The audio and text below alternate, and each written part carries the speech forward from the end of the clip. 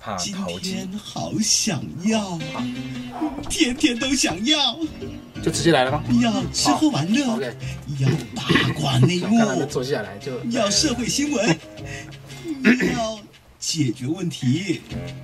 刘君耀下午两点，非要不可。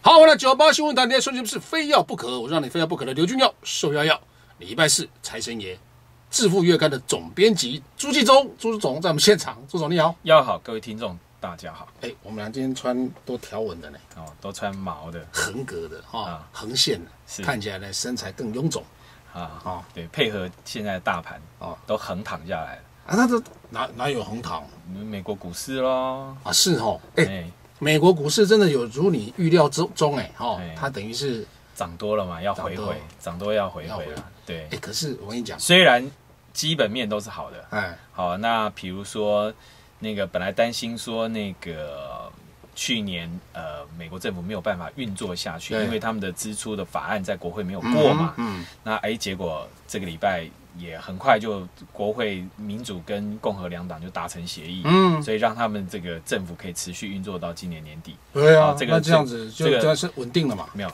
股市都是这样嘛，就是说跟大家报告，哦，股市都是在失望中见到底部，哦哦，所以失望的时候你就要买进嘛，哈、哦，在乐观的气氛中见到顶部，就要卖出了。哎，。就要卖出了嘛，所以都是在乐观的气氛，然后大家好消息，嗯。当好消息出现的时候，对，好消息出现的时候，股价还不涨，嗯，这个时候你就要担心了。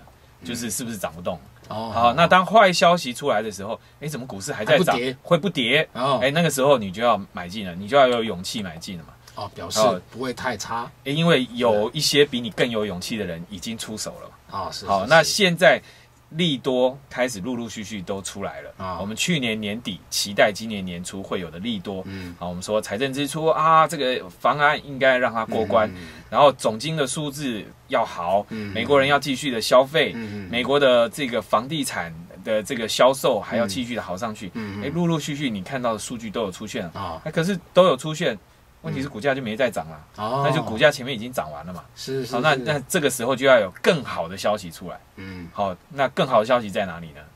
请看下一期《致富月刊》。哎，对不对？你哎，这一段我把它待会把它剪掉。哇塞，用这样子自助的哦，哇，你这个太狠了吧？哦，哎，那你你下一期支付月刊是要做什么？没有啊，我我们事实上也有跟大家报告，我们去年就在观察一件事情，但哎去年没有出现。嗯去年哈，就是说，呃，大家都在看这一波的景气的上扬，嗯，很很重要。前面是政府在救嘛，因为政府印钞票对，这样救，然后那企业很赚钱很好，嗯企业都很获利。嗯，为什么呢？企业很获利呢？企业都砍人嘛，对，企业第一个动刀就是把人事支出砍掉，所以企业每一个都吃得饱饱的，哎，赚得饱饱的。赚饱饱以后呢，问题他不雇佣人就没有用啊。嗯，你不雇佣人的话，你没有增加这个资本支出，嗯没有再去做扩张的话，这个景气它不会一直好上去。嗯，好，因为大家口口袋是空的嘛，对。只有你大股东、老板在赚钱，对。对不对？那嗯。员工都没有苦哈哈的，而且员工整个公司的这个人员也没有扩张，嗯。这个经济没有办法再往上成长。是。就少了那那那那那我们去年就在单，去年就在预期，二零一三年大家就预期说，好，我们股整个景气从二零零八零九嗯。打到谷底，然后慢慢开始爬起来。嗯。那美国的景气已经越来越明显啦，嗯。好转啦。嗯，哎，那企业应该要开始投资啦，对。对不对？你看台湾，是。台湾我我记得我在节目中我没有讲过，我们民间投资占 GDP 的比重，嗯。在去年嗯。掉到嗯只剩下十九趴。嗯。哎，两千年的时候，我们是二十二趴以上，嗯我们掉了三个百分点下来。嗯简单说，我们在两千年到两千呃一十二年对。这十二年中间哈、嗯。都还维持在二十趴以上，哦这么多。都平均都还维持嗯。二十趴以上，大部分年度都二十趴，偶尔有一像金融海啸二零零九年，哎。那是有掉到动一下。十九、十八嗯，嗯。可是之后马上又回到二十趴。嗯哼。结果一三年的时候，二零一二年的时候，我们又掉到十九趴。嗯。同一个时间点，韩国是多少？韩国是二十六，哇塞比我们整整多七个百分点。哦所以你看到人家的民间的投资的活力是远比台湾强的。嗯那台湾的钱都拿去哪里？大陆嘛房地产啊，啊，对不对？投房地产呐、是不是？哦，就是其他都没什么在投嘛，对然后去存在人民币嘛，哦，好、去就是他都跑到海外去了，都没有在台湾投资。嗯嗯，那美国人也是这样，嗯。美国美国大家现在也是，哎，你企业获利那么好，嗯。哎，那你接下来的成长就要靠民间投资啊，嗯。就要企业要投资下去啊。嗯。企业有在投资，美国的企业投资已经比台湾算还不错了。嗯嗯因为奥巴马政府有做一些振兴方案，确实吸引了很多制造业回美国投资，对。可是还不够啊。对，所以我们期待二零一三年本来就期待说企业的资本支出要增加。嗯嗯嗯好，那个二零一三年落空了，嗯。嗯，但是问题景气还是好上去了。对，所以我们期待就是二零一四年嗯。这个企业资本支出的这件事情嗯。应该要真的成长。为什么？嗯嗯因为第一个，政府的财政支出已经确定了，稳定了。嗯，过去财美国政府都可能会倒，对，现在已经确定了嘛？这个关门。疑虑已经没有了，没有了，嗯，当美国政府确定不会倒的时候，那就表表示美国政府推出的一些政策要确定可以执行。嗯那所以企业理理论上应该就可以开始投资。嗯所以如果今年二零一四年整个美国股市还会再往上走，对，好的话，很重要就是大家要看企业的资本支出有没有增加。如果企业资资本支出增加，企业开始投资，开始做扩张，那这个景气就还会好下去。所以回档美股的回档嗯就是一个好的买点。哦，如果企业资本支出没有增加，企业还是很保守，抱着现金，是好等着买股票，或者是哦等着分配现金的话，那就表示后面大家对景气还是有疑虑的，OK。你就要特别小心。哎，所以接下来就请大家密切注意，自助月刊，你又来了，我们会帮大家观察企业支出的状况。好，卡掉卡掉哈。好。但是呢，我还是我我要问问你一个问题哦，嗯。因为你之前跟我讲哦，欧美啊，欧美的景气都在复苏的时候，那如果说你觉得这个系统呢，让你觉得不是很放心，嗯，那你可以呢从中间呢找一个横切面，哦，比方说像生技股，嗯，哦，那欧美好，那那你说最近美国股市在跌，嗯，可是哦，你讲的那个我都有听哦，哦，生技股的那一块呢，我就切出来，嗯。诶，它还是在涨，而且呢屡创新高哦。我讲的是基金啊哦，嗯。所以说我要问你的是，那这样这样子，在一个你刚刚讲的那么多分析美国的这个政局啦、政府稳定了啦，企业民间企业投资会不会增加了这些东西，啊，这是这么这么多因素，我如果我现在在在选择的时候，我是不是一样按照你的那个生计的那种切一个横切面，这样子去做投资，这样子会不会更稳当一点？呃，应该是这样讲哈，企业呃，生技这个产业，嗯。呃，今年还是会有机会成长的。嗯。好，那为什么呢？是因为整个新药的研发，嗯。还是在持续当中。嗯。然后，那美国的这个健保改革还是持续的当中，所以呃，再加上整个亚洲，他们对药的需求也是持续的在成长，嗯。所以这个医药的制药这个产业，它还是会好，嗯，但是它的涨的幅度已经不会像二零一三年那么好了。那么、那么喷出啊对对那个大爆发。对，对，那你不能简单说，我们对于二零一四年整个欧美股市的期待，不能再像二零一三年那个样子。哦，好，二零一三年整个美国股市创历史新高，欧洲股市创历史新高，这些东西就是说，你有没有看那个那个玩特技就是一次要弄十个盘子，哦，有没有在那边转嘛对对对不对？对对对，一直转的，总不能说只有一两个盘子在转嘛。哦，好，美国经济再好，美国的盘子在转，其他地方也要转嘛。是，所以你要开始把眼光往外面去移动一下，嗯看一看别的市场，嗯。因为别的市场可能是刚刚从谷底里面翻上来。比如说，我们之前也在跟大家介绍，就是在欧洲里面，欧洲五国里面，像意大利啦，嗯。或者像东欧的一些国家啦对，或者像去年不好的，已经连续两年不好的，像俄罗斯啊，嗯嗯，这些有没有可能被德国的复苏景气带动起来？带动哦好，那所以你可以去关注一些嗯。这个基期比较低的一些国家。好好，那相对的，不是说美国跟欧洲的景气或者是升级产业会不好，对。而是说它的这个涨幅嗯，它可能会受到一些限制，因为前面已经涨那么多，对。你要它连续的这样大涨，我觉得是有压力。但是今年很可能是一个大震荡的年度。哦。好，这个这个大震荡的年度为什么？是因为这个货币政策要改，就是我们讲的 Q E，、因为在二月一号新的联准会主席上来之后，嗯。全世界的货币政策可能迈入一个即将调整的一个状况，嗯在那个时间点的状况之下，大部分人的钱会大的法机构法人他们会先会缩起来，会先停看听一下，嗯嗯，所以那个时间点，所以你要看着那个时间点的变化，嗯。再去做调整。所以简单说嗯。你不能再用去年，去年是一个爆发年，好，好，你不能再用爆发年度来看今年，啊，那所以说今年要稍微更加保守一点，对，哦，保守一点。但是呢，因为你刚刚有提提到一但件事情，是我所谓的保守，就是说，现在还是在景气复苏的状况中，嗯。所以你还是可以投资，嗯，但是你不要去追高。哦，第一个，你不要追高；第二个，你手上要有现金，是。所以你要随时记得，我之前不断的提醒大家停利。是。你一旦达到你的获利目标，比如说收幺幺，你有投资生机的基金，是，如果今天生机的基金已经帮你赚到十五趴、二十趴了，好，好，已经赚到。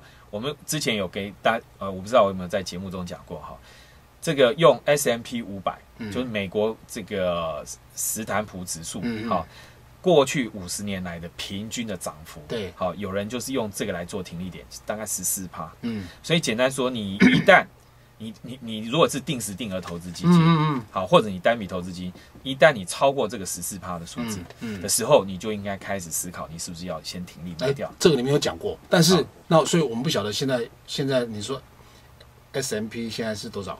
现在这最近在回档嘛，对，大概一千八百多点。对。好，那我的意思是说，你的投资组合如果一旦超过指指数的五十年的均数是在哎。一年平均涨十四趴、十五趴，哎，所以这个叫合理，叫正常。哦，如果今天它已经涨到十五趴以上，是。你是不是随时心理上就我已经多赚了，对，我已经涨过平均值了，这个时候我就要考虑卖。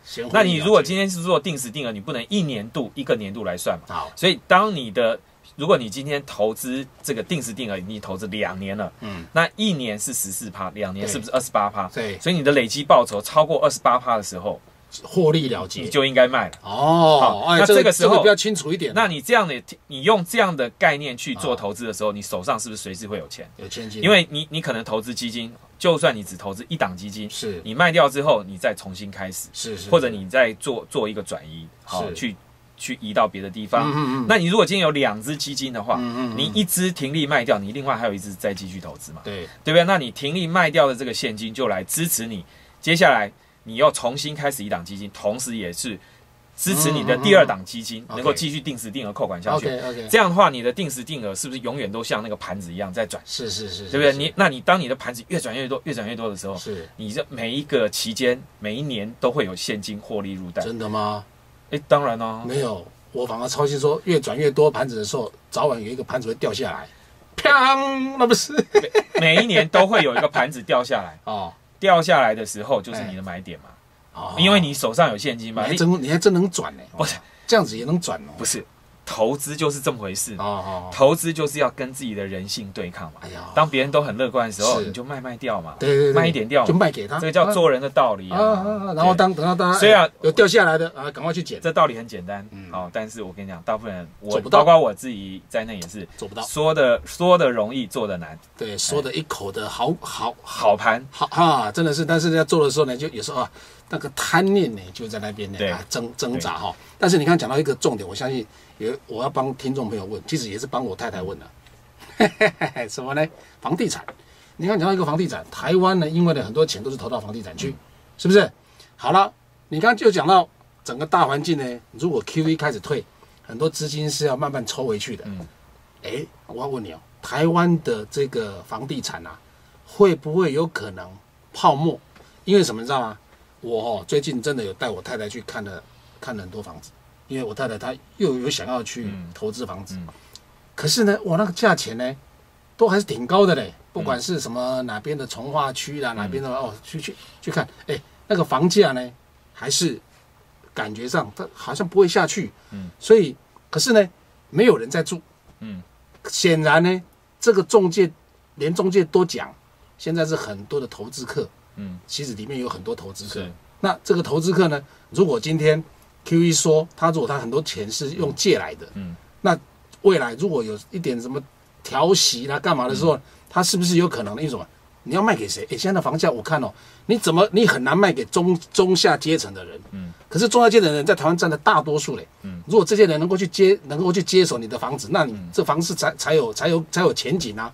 可是如果没有的话，那都是在握在投资客的手上，所以我要帮那些小资小众呢，大家问问一问，如果哎我们现在呢，如果有人想买房子，嗯好、要不要再等一下？会不会房房地产有没有可能台湾的哦，嗯有没有可能泡沫？好，这个因为我昨天刚好跟有盖豪宅的老板，还有一些金融业的是那个先进们是，那个参谈到这个吗哎，我们聊天习这个话。这个吃饭的这个过程里面，大家最有兴趣的话题就是房地产。对哦，对啊，二零一四年房地产会不会跌？哦，我题目不是会不会涨，是对会不会跌。是是是，那结论就是呢，台北市要跌其实很难。嗯，为什么？因为这些豪宅建商都告诉我们，他们在台北市找不到土地，好，他们最大的困难就是他们找不到土地，嗯，都跟缓不济急，是。所以所以跟英明的政府报告，是。如果你要把房地产的行情打下来是。的话，你就让都跟的速度加快。，OK，你让供给的速度再加快，嗯。那台北市是现在台湾全台放眼望去，嗯，房价最不会跌的地方，好。因为根本土地没有供给。好，那台北市以外呢？台北市以外的你就要看了，土地供给量越大的地方，你越要小心，嗯，因为呃去年下半年炒最凶的对，高雄哦跟台中。哦，最近的买盘，尤其是十一、十二月，我们看到的统计数字，是，那个买气都开始明显的降。嗯，好，连新北市的很多预售屋，包括桃园的预售屋，都开始它的买气在降。没有错，好，那呃，像我的一个亲戚啊，在高雄，他们本来去看房子，对，他说去年暑假的时候去看的时候，哦，一口价九百万，好，不要的话的话就 就再联络了，哈一口价。九百万，死都不退。哎，到了月月呃去年十二月底嗯过完圣诞节以后，已经杀到七百五了。哦，你看，哎，所以那个中古屋的价格空间已经开始出来了。是，好，那只是说，呃，在这样的状况下，就是说，如果你今天如果是自住的，嗯自住的，然后非在台北市的，嗯嗯不在台北市的，嗯嗯那我觉得你随时因为价格的弹性已对经空间就出来，你能杀就去杀。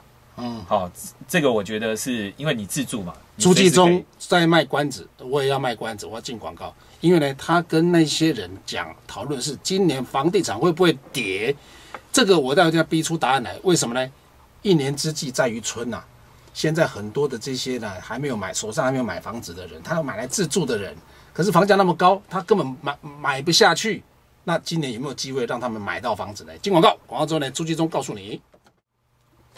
好，那九八新闻台我刘俊耀受要要，朱继忠在我们现场，继忠你好。你好，好，那个房地产到底会不会跌？你能不能先前面跟我们讲一个答案，然后你再来分析，不然我们的听众朋友呢，哦，我听哦，听的这个心里面都悬在那里。简单说嘛哈哎，我觉得房地产要跌有几个要素了你不要分析，你先讲。我说。两大条件，啊。第一个供给大量出笼。哎，好，那我刚才讲台北市没有供给嘛，啊。土地没有了嘛，那中南部供给很多、哦，嗯那个量很大、哦，对所以中南部你真的要小心。小心好，那第二个利率嘛，对，如果房地产要大跌，就是利率一定要往上拉嘛。所以政府，我如果是政府的话，打房很简单，你调高利率就好了，是不是这样对？是没错你。调个一趴两趴，我跟你讲，很多人就出笼了啦。那现在有一些房贷，比如说像我自己啊，哈，对，我有我有三个房贷，哎呦，好，哦最便宜的一点八，哦，贵的二点七。那也不超过三趴、好，那问题是二点七的再往上调就已经到过三哦，哎。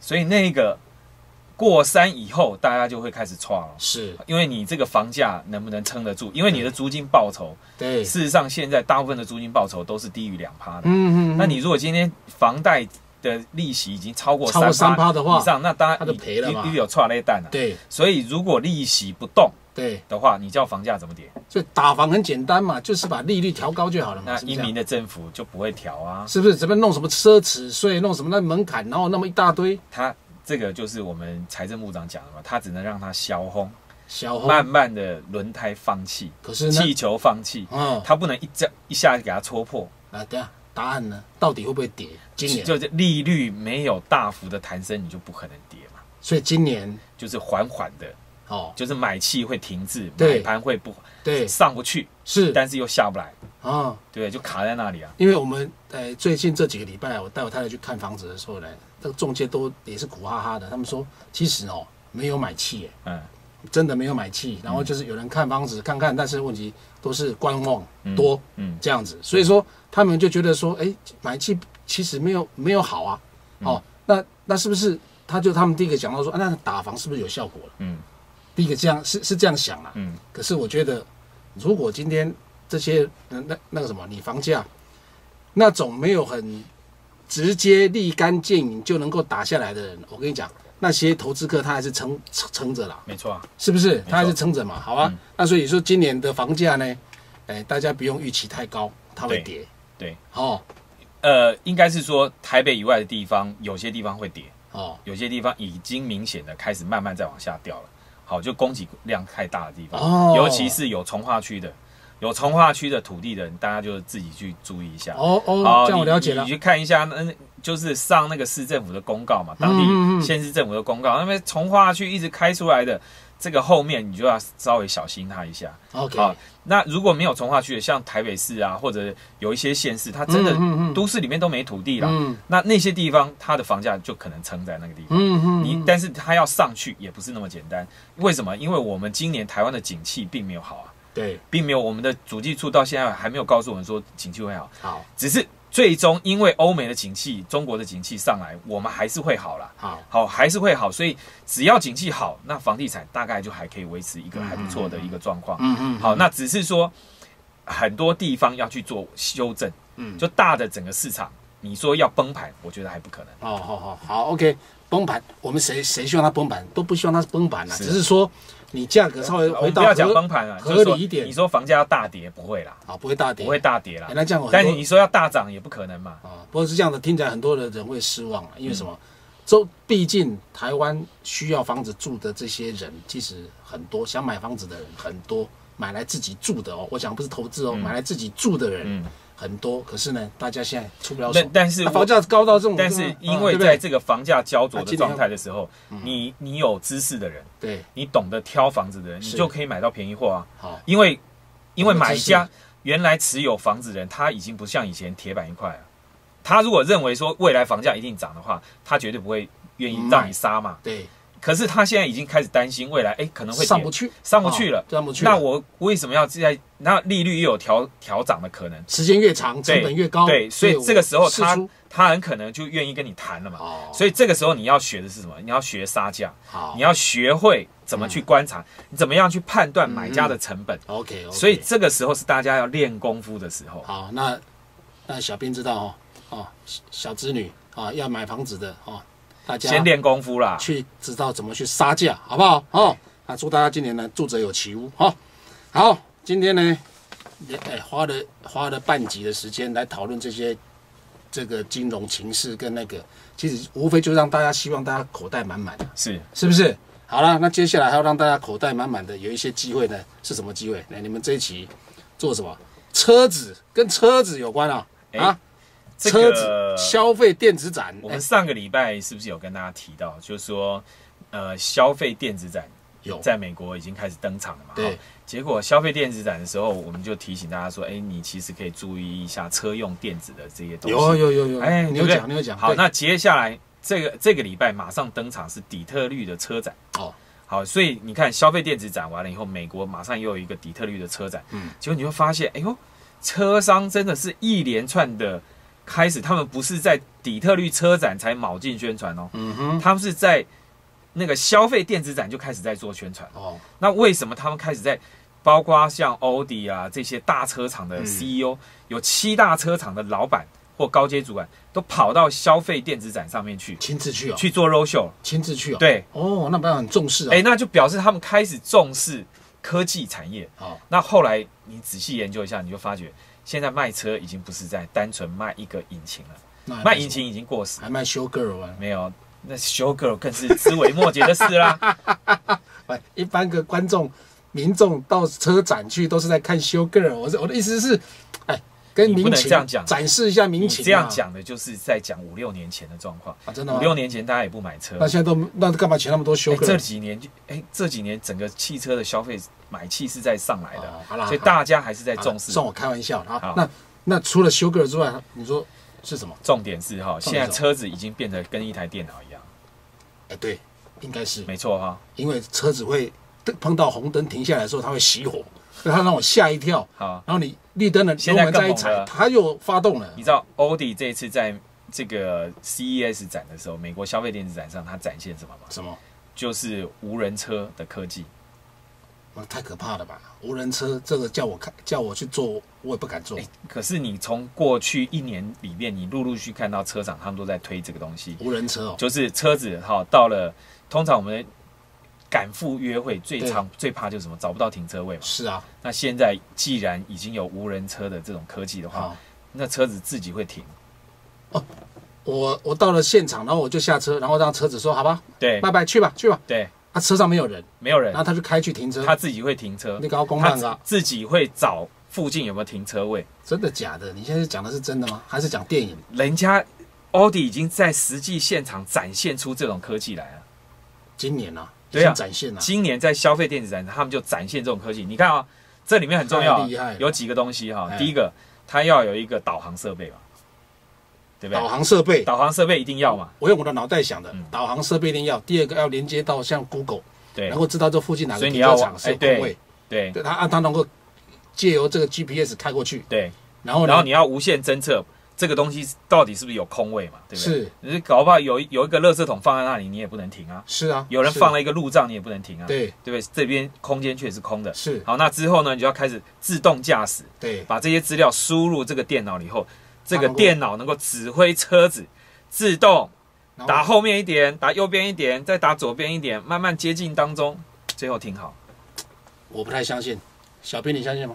不相信。我们现场三个人，只有两个人，啊，人家真的就是这样做啦我啦。问你了，那那你相不相信？我相信啊你，有你有看到吗？眼见为凭，拜托，这个 YouTube 上都有这个影片，大家自己去看好不好？大家继续看。那这个东西能够量化吗？现在还不能量产。哎，好，他们预计大概在八到九年之内嗯就可以大量生产了。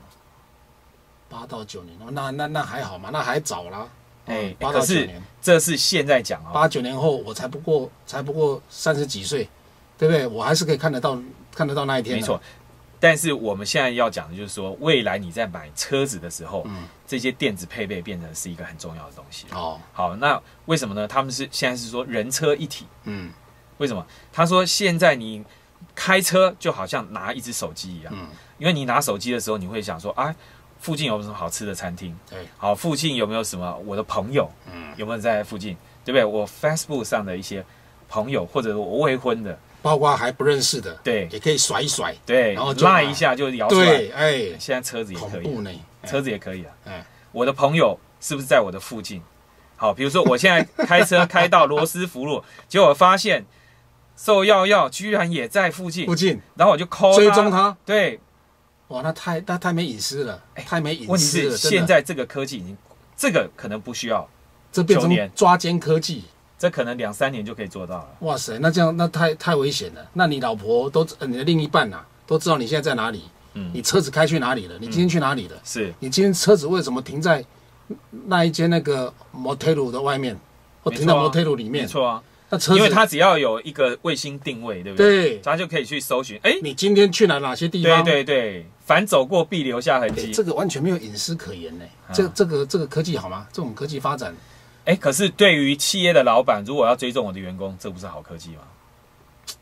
你这样人变得好像都没有没有一点，你怎么会这么老土嘞？那不然呢？全民公敌早就告诉你啊，这个反侦测吗？这个还是什么？这个社会一定会到最后一定是这样。哎，我们现在出去到处都监视器啊，对呀、对呀、对啊对。你看政府都在监视我们啊，那我们能够怎么样？我们我们我们，可是我不你不要作奸犯科就好啦。那！谁会哎？哎呀，人漫漫人生路，哎这是个难免错几步。哎，我在讨论是科技问题，你给我拿到哲学层次来讨论。没 有好，那那我进广告可以吧？好，进广告，广告之后呢，我们听朱一东到底要讲什么啊？好了，九百新闻台五刘军长受邀要朱兄在我们现场，吉龙你你好。你好，刚刚我讲哦，漫漫人生路难免错几步哦。嗯但是如果这个科技呢，可以约束我们的行为，对好、让我们呢不要走错路，对连错几步的机会都没有。对，他根本不让你走错路，那这样其实也是有约束效果，我觉得也是蛮好的啦。方向盘不是你在控制，对是电脑在控制。你想开去摩天轮，我告诉你，他就是开不进去。他会一直跳出来说，一个有有良心的丈夫怎么可以跑去摩天？是，哎，就想想这个科技也可以从科技来约束人的行为，蛮好的。那这样子，这件事情嗯要做到这一个这个田地的话，要做到这个地步的嗯话，你很重要就是你的那个电脑的预作业系统要非常非常强。而且要快，嗨，对，那快现在呢，我们发现有两个强大的科技大厂已经介入这个产业了，哪两大？一个叫 Google，哇塞，一个叫 Apple。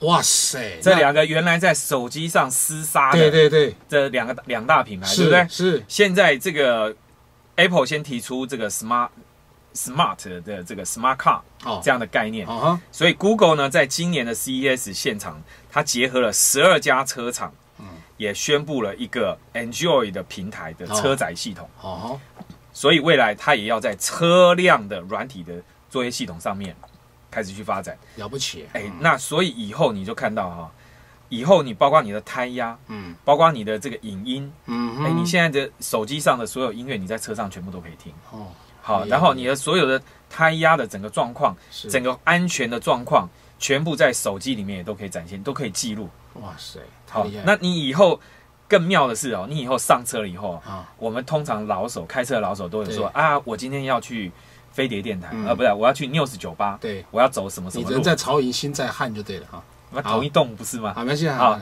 那我要走什么？呃，我要从新新店出来，然后走对。罗斯福路。结果呢，现在电脑会帮你算。今天因为我已经侦测到了是，罗斯福路可能出了一场车祸，哦。所以那边堵车了，是。请你要走水源快速道他就。帮你，他已经帮你引导了，哦。所以以后你开车就像在打 game 一样。